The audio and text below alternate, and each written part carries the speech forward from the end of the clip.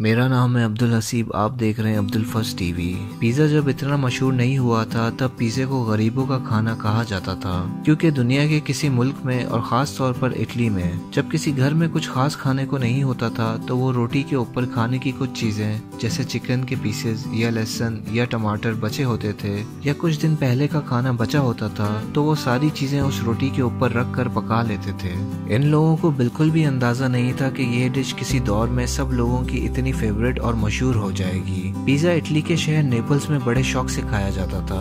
मुख्तलिफ़ मुख्तलिफ़ रेसिपीज़ के साथ बनाया जाता था। तो एक शेफ जिनका नाम रफेली एस्पोसिटो था, वो इस जमाने में अपने रेस्टोरेंट में पिज्जा सेल किया करते थे। तो एक दिन उन्नीस सेंचुरी में इटली की मलका का नेपल्स में जाना हुआ। इनका नाम मार्गरीटा था। मार्गरीटा को पिज्जा खाने का शौक हुआ। तो रफेली ने इनके लिए पिज्जा बनाकर पेश किया। तीन मुख्तलिफ़ फ्लेवर्स के साथ चीज़ टमाटर और तुलसी के पत्ते का, जो बिल्कुल इटली के परचम की तरह था और रफेली ने पहली बार मोजिला चीज़ के साथ पिज्जा बनाया था। मार्गरीटा अपने शहर वापस चली गई और रफेली को एक खत भेजा। उस खत में इनके पिज्जे की काफ़ी तारीफ़ की गई थी। वहाँ से पिज्जा मशहूर हो गया था और इनके रेस्टोरेंट में हर कोई पिज्जा खाने आता था और अब पूरी दुनिया में पिज्जा खाया जाता है। पिज्जा एक ऐसा फ़ूड आइटम है जिसका रेवेन्यू सबसे ज़्यादा है। दुनिया में सबसे ज़्यादा पिज्जा को कौन से मुल्क के लोग खाते हैं?